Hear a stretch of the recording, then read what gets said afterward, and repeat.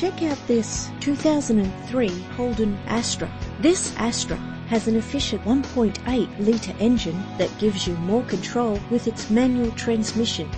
The attractive silver exterior is complemented by its stylish interior.